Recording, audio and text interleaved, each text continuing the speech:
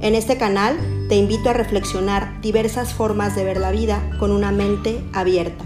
Comenzamos.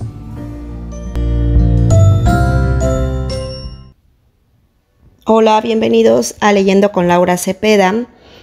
El día de hoy estoy muy contenta porque vamos a abrir una nueva sección que se va a llamar Puebla y su cocina. Yo nací en Puebla, muy orgullosa, me siento de ser poblana, de ser mexicana y vamos a empezar a hablar sobre toda la gastronomía poblana desde un punto de vista literario, pero también hablaremos de todas sus recetas de cocina. Si aún no estás suscrito, por favor suscríbete, dale click a la campanita para que te avise cada que haya un video nuevo y regálame un like. La comida de Puebla a través de todos los tiempos ha sido una artesanía, una ciencia y un arte. Su desarrollo y evolución en el curso de los años ha reflejado la historia de sus habitantes, la necesidad de ir estrechando aún más en torno a la mesa centro espiritual de la familia, los lazos de unión que deben caracterizar esta pequeña comunidad, ha capacitado a la mujer poblana para elaborar los más ricos y variados platillos usando recetas que hasta sus manos llegaron transmitidas de generación en generación o bien con recetas propias.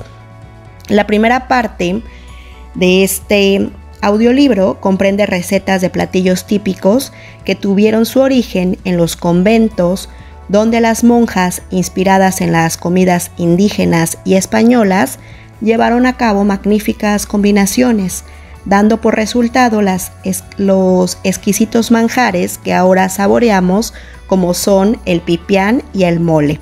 Este último creado precisamente en el convento de Santa Rosa por Sor Andrea de la Asunción.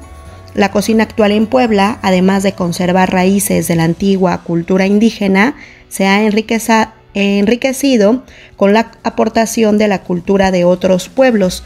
De ahí el que se diga, México come diariamente los tres panes.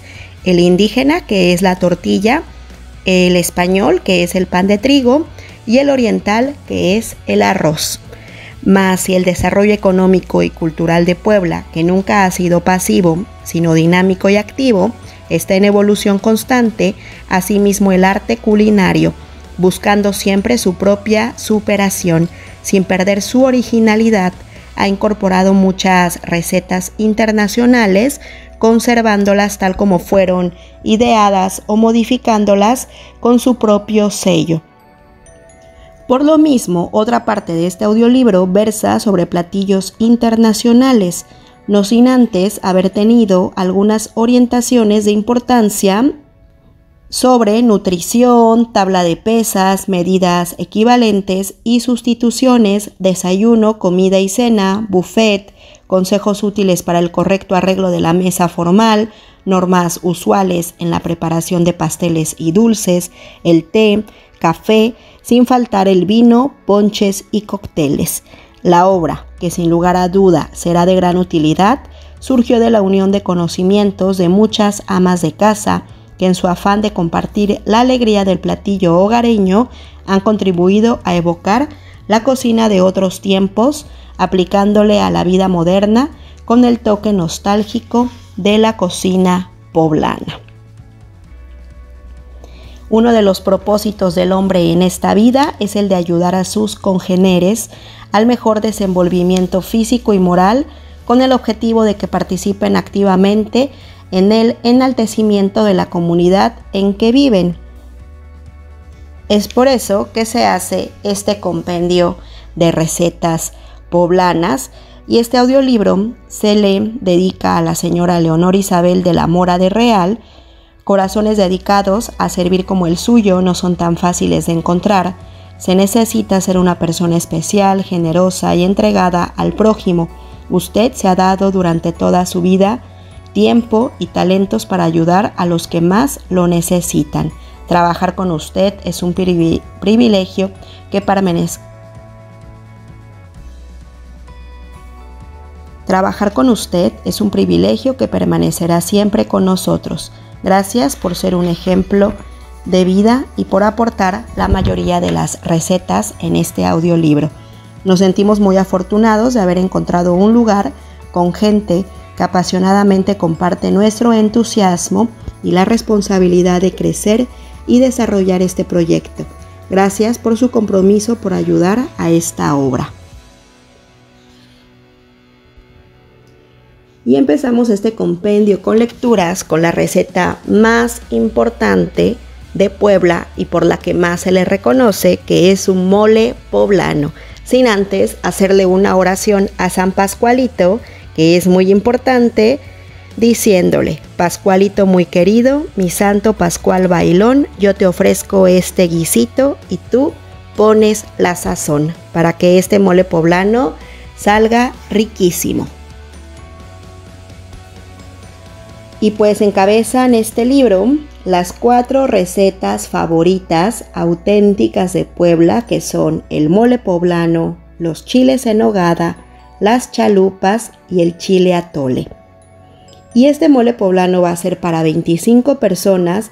Vamos a necesitar dos pavos o seis gallinas, un kilo de chile mulato, 250 gramos de almendra, 375 gramos de pasas, una cucharada de semillas de cilantro, dos cucharadas de canela despedazada, una cucharadita de anís, una cabeza de ajo quemado, 250 gramos de cacahuate, 10 tablillas de chocolate, 3 coronas sabor canela, 500 gramos de manteca, 250 gramos de ajonjolí, 4 cucharadas de azúcar acaramelada, sal y azúcar al gusto. Y la manera de hacerse es la siguiente. Se limpia el chile y se le quita la semilla. Se dora ligeramente en un comal. El ajonjolí se tuesta en una cazuela de barro, moviéndolo constantemente hasta que quede dorado. La semilla de cilantro y el anís también se tuestan. Se fríen en manteca por separado las almendras, las pasas y el cacahuate. En agua caliente se remoja el chile y una vez hecho esto, se muele haciendo lo mismo con el resto de los ingredientes antes mencionados. Todos ellos se fríen con poca manteca en una cazuela, sazonándose con la misma grasa que le sube al caldo caliente en que se cocieron los pavos. A continuación, se agrega el caldo, así como el azúcar acaramelada, previamente en un sartén, y el chocolate se deshace con el caldo. Debe hervirse a fuego lento procurando menear frecuentemente para que no se asienta y se queme. Y hay una anécdota al respecto que dice que se le puso el nombre porque en el convento de Santa Rosa se le decía a la madre que lo estaba haciendo que bien mole en lugar de que bien muele. Y de ahí viene su peculiar nombre de mole poblano. Y su color oscuro, café oscuro que a tantos extranjeros les llama la atención, es por el chocolate, por la combinación del chocolate y el chile.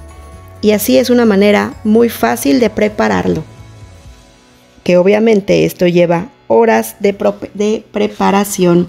Se lee muy rápido la receta, pero realmente son horas de preparación. Ahora pasamos a la siguiente receta típica poblana que tiene muchos años que yo no voy a Puebla a disfrutar de unos chiles en hogada, pero siempre en el extranjero donde he vivido, siempre en el mes de agosto y sobre todo en el mes del 26 de julio, que es día de San Agustín, que es cuando se tienen que comer los chiles en hogada, es cuando ese día junto todos los ingredientes, los mando a traer por Amazon, los mando a traer desde México y hago mis chiles en hogada. No hay razón ni motivo no hay ni distancia ni kilómetros que impidan que yo el 26 de julio no coma mis exquisitos chiles en hogada, como buena poblana que soy. Un plato exquisito son los chiles en hogada, invención de las monjas agustinas.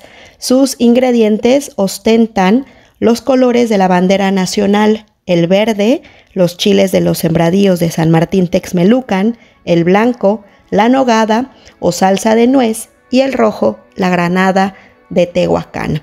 Y necesitamos un kilo de chiles poblanos, un kilo de lomo de puerco, un kilo de jitomate, 200 gramos de cebolla picada, 3 dientes de ajo, 4 manzanas peladas y picadas, pero tiene que ser la manzana que le llaman la manzana mm, perón o la manzana pera, que es una chiquita y coloradita, como decía mi abuelita, 200 gramos de pasitas, 100 gramos de almendras, 8 duraznos pelados y picados, 4 plátanos largos, pelados y picados, de preferencia tienen que ser plátanos machos, azúcar y canela al gusto para sazonar el picadillo, 10 huevos, un cuarto de harina, un cuarto de kilo de harina, un litro de aceite, 200 nueces, pero tienen que ser las nueces de Castilla, provenientes de España, de ahí su nombre, medio litro de leche,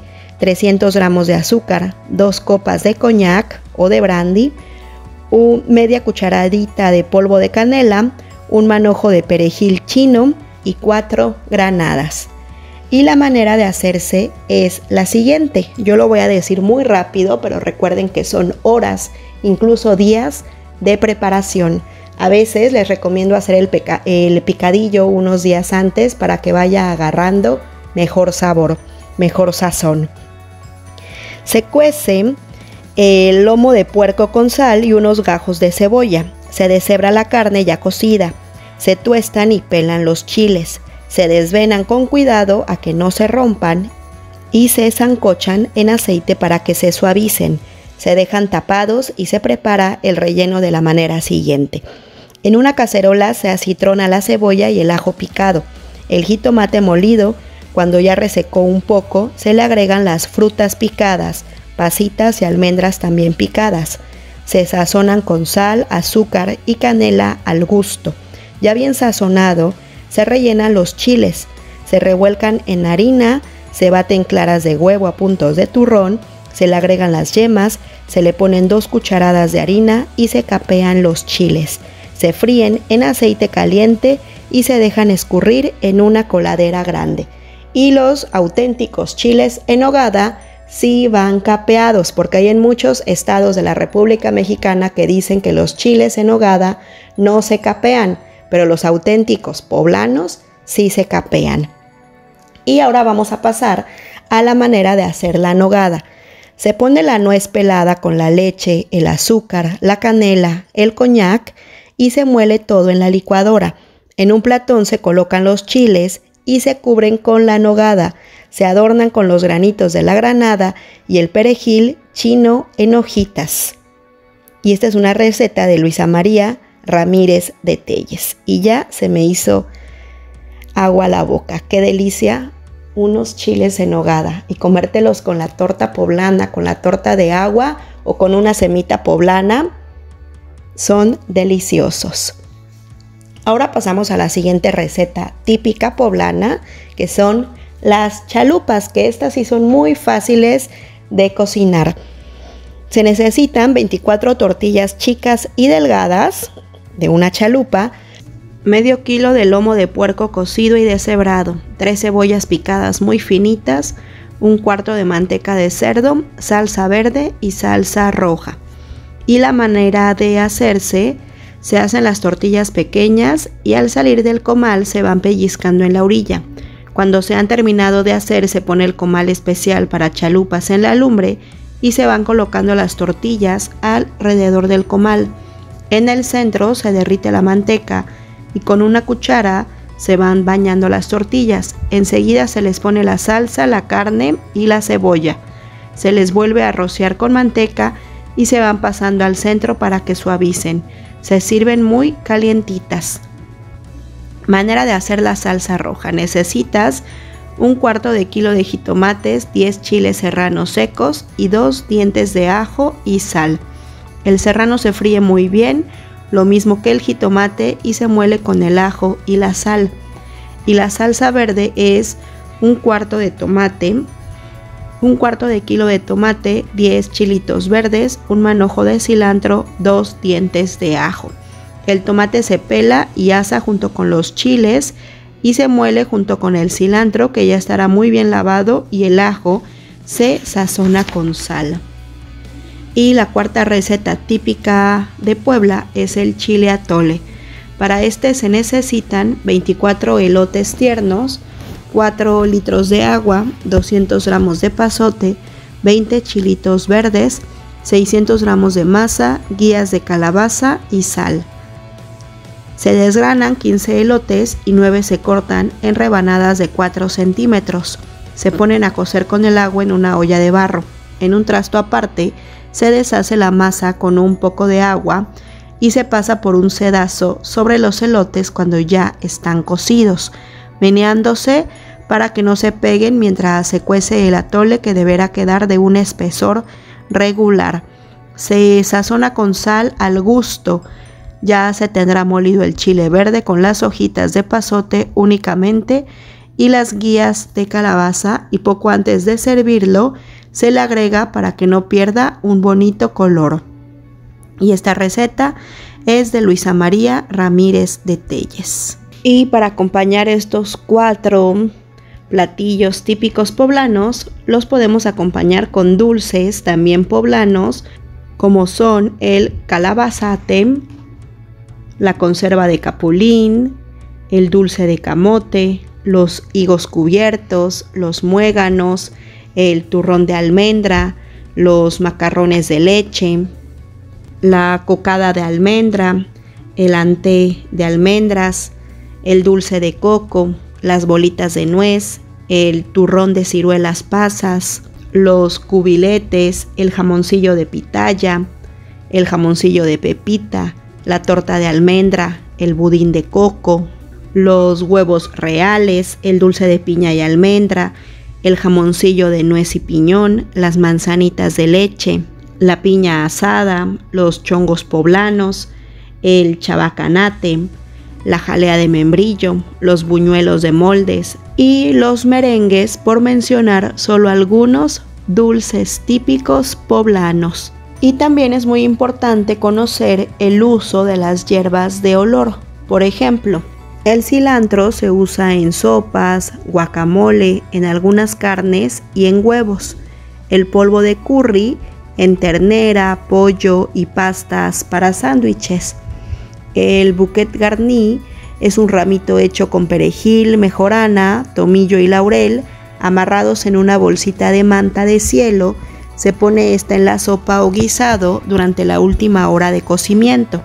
La hierbabuena le da muy buen sabor al té, a los helados, a la sopa de chícharos, al requesón, a la ensalada, a los caldos y a las papas.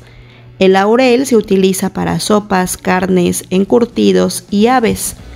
La mejorana se utiliza en guisados españoles como el carnero y los hongos frescos. El orégano le da sabor a las salsas, sopas, ensaladas, carnes, pescado y pastel de pizza. El perejil se utiliza en salsas, guisados y carnes. El tarragón muy poco en sopas, ensaladas, salsas para pescado y espolvoreando encima del pescado. Y el tomillo se utiliza mucho en salsas, carnes, pescados, aderezos, rellenos y jitomates cocidos. Y no sé si a ustedes les pasaba con sus abuelitas o con sus mamás que cuando probaban la comida ellas inmediatamente sabían distinguir qué especies tenían esta comida. Era algo que a mí me sorprendía. Y también podemos acompañar con unos entremeses. Los entremeses son pequeñas porciones de alimento que deben ser servidos como primer platillo en la comida. Su misión primordial es la de agudizar el apetito en vez de satisfacerlo. Esta costumbre parece haber empezado en la antigua Grecia y en Roma. Los romanos en la antigüedad durante sus fabulosas fiestas saboreaban para excitar su apetito achicoria, escarola y apio. Esta costumbre acogida por Europa más tarde llegó hasta nosotros con la elegancia del caviar de Rusia, el antipasto de los italianos, los Hors du Beau de los franceses y el Smorgasbord de los escandinavos. Los entremeses principalmente se sirven en la comida y siempre preceden al consomé. Si por excepción se dan por la noche, debe suprimirse la sopa. Puede ocurrir que los entremeses se sirvan después de un potaje. En este caso deberá ser de una misma especie como ostras, caviar, jamón crudo, salmón ahumado, melón, pero nunca platos compuestos, canapés. Para hacer los canapés en diferentes formas y sabores para su exquisita presentación, se necesita descostrar las rebanadas del pan bimbo y cortarlas en diferentes formas de modo que tomen las figuras de trébol, corazón, círculo, rectángulo, triángulo, etc. Terminada esta operación, se guardan en sus mismas bolsas de plástico para que no se resequen mientras se preparan las diferentes pastas que deben quedar muy tersas y la decoración de los canapés efectuarse con finura. Y hay canapés de diversos tipos, como los canapés de pechuga y queso, los canapés de camarones, de atún, los canapés en anchoas, de nuez, de chícharos, los canapés en espiral, el paté de atún, el paté de hígado de pollo, los inflados de pollo. Y en este libro también nos enseñan el modo de servir el caviar. Se sirve el caviar rojo o negro en su propio envase de cristal sobre hielo frappé. Se ofrece con galletitas cremosas o pan de centeno rebanado y se adorna a escoger con rodajas de limón, yema o clara de huevo cocida y picada, cebolla y perejil también picados. Y aquí también nos mencionan que la hora de tomar los alimentos es propicia para el, el acercamiento de las personas e intercambio de ideas, ya tenga este el carácter de formal, informal o familiar. Por lo tanto, debe tenerse cuidado de que la mesa esté arreglada de un modo conveniente, armonioso, alegre y sin aglomerar, para que resulte agradable a la vista y que el tiempo que se tarde en saborear los alimentos sea grato y transcurra en franca y tranquila convivialidad. Antiguamente eran cinco los alimentos que se acostumbraban durante el día, desayuno, almuerzo, comida, merienda y cena. En la actualidad se han reducido a desayuno, comida y cena. Desayuno. Regularmente se toma entre 8 y 9 de la mañana. La mesa del desayuno, si se desea, puede cubrirse con un mantel blanco o de colores, haciendo juego con las servilletas o bien con mantelitos individuales de colores alegres. El aspecto de la mesa será más agradable si se coloca un centro con la fruta de temporada. Delante de cada lugar se pone el plato trinche y a los lados de este los cubiertos colocados a una pulgada del borde de la mesa, ya sea redonda, cuadrada o rectangular. El tenedor debe ir del lado izquierdo, el cuchillo a la derecha del plato con el filo hacia adentro, las cucharas a la derecha del cuchillo y el tenedor de fruta que tiene forma entre cucharita y tenedor enseguida de las cucharas. Las servilletas pueden doblarse en triángulo o rectángulo, colocándose a la izquierda del tenedor lo más cerca posible, pero sin tocarlo y con el doblez hacia adentro. El vaso para agua va en dirección del cuchillo el plato para el pan en dirección del tenedor y sobre él, cruzando en línea paralela al borde de la mesa, el cuchillo para la mantequilla. La taza con su plato a la derecha del vaso siempre que el servicio sea individual, en cuyo caso la, tetera, lechera, cafetera o chocolatera irán pasando de una persona a otra. También es usual que el ama de casa sirva entonces en una charola llevará las tazas correspondientes y los platitos, así como el servicio, pasando ella a cada persona la taza servida. Hay que tener cuidado de no olvidar la sal y pimienta, lo mismo que la mantequilla con su respectivo cuchillo y las mermeladas distribuidas en trastes especiales con las cucharitas correspondientes, así como la azucarera y las jarritas de crema y miel. La hora de la comida es generalmente entre la 1 y las 3 de la tarde. Es la más completa en nuestro país, pues en ella se sirven diversos platillos de gran valor nutritivo, variando esto según el uso y las costumbres. La cena que en otros países ocupa el primer lugar como comida fuerte, en el nuestro cuando es informal se hace más ligera, generalmente de 8 a 10 de la noche. Tanto para la comida Como para la cena, la mesa luce mejor con un mantel blanco o de color pastel, variando la tela según la importancia de la ocasión. Si se desea, pueden utilizarse mantelitos individuales de paja, lino o encaje de colores alegres. También manteles rectangulares alargados de los llamados caminos de mesa. Estos hacen que luzca mejor el barnizado de la madera. Como centro de mesa puede colocar cualquier pieza bonita de plata o porcelana, no muy alta para que no estorbe la vista de los comensales. Aunque tienen mayor aceptación las flores, pues le dan colorido, frescura y distinción a la mesa. Los platos, así como los cubiertos, deben estar colocados a una pulgada del borde de la mesa, aun cuando ésta sea redonda. Todos los tenedores deben ir del lado izquierdo del plato tendido, excepto el de cóctel que se colocará al final del lado derecho después del cuchillo que va con el filo para adentro y de las cucharas que estarán a la derecha de este. El tenedor de cóctel se puede colocar también en el plato de cóctel. Los cubiertos deben colocarse en el orden en que se van a utilizar, empezando de afuera hacia adentro y no deben colocarse más de tres piezas de cada lado. En los casos en que la ensalada acompaña al platillo principal se puede utilizar el mismo tenedor. El vaso para el agua se pone en dirección de la punta del cuchillo. El plato de pan o mantequilla en dirección de los tenedores. El cuchillo de la mantequilla se coloca encima del plato de pan, cruzándolo paralelo a la orilla de la mesa o en la dirección de los demás. Si son varios los comensales en torno a la mesa, deben colocarse un salero y pimentero cada dos lugares, o en caso que sean saleros individuales, que desde luego son muy pequeños, uno frente de cada lugar. Nada más agradable que una taza de café o té al terminar la comida o cena y de partir amablemente en una sobremesa con los familiares e invitados.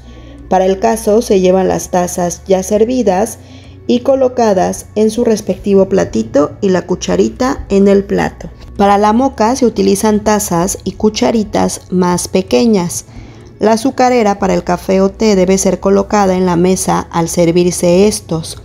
Si son varios comensales, dos por lo menos para evitar que se molesten al esperar para servirse al gusto.